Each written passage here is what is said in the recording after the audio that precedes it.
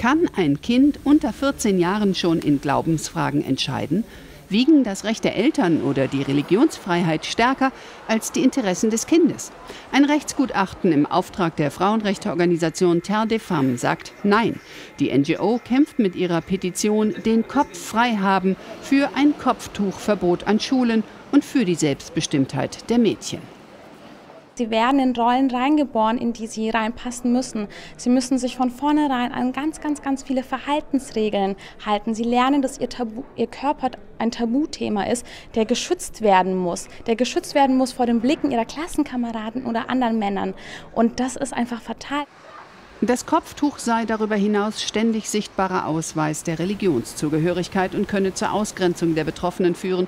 Die Mädchen würden vom Sport- und Schwimmunterricht ausgeschlossen, manchmal auch von Klassenfahrten. Ein Kopftuchverbot an Schulen ist mit dem Grundgesetz vereinbar, so sagt es das Rechtsgutachten, weil das Schulwesen unter Aufsicht des Staates steht und Kinder erst eine intellektuelle Reife bräuchten. Das sehen viele Muslime auch so, wenn auch nicht alle. Manche Kinder wollen das von alleine auch tragen. Das ist zu früh. Die müssen schon selbst erst mal wissen, warum die das überhaupt machen müssen. Wenn die das wollen, die sollen das dürfen. Terre des Femmes hofft nun auf tatkräftige Unterstützung aus der Politik.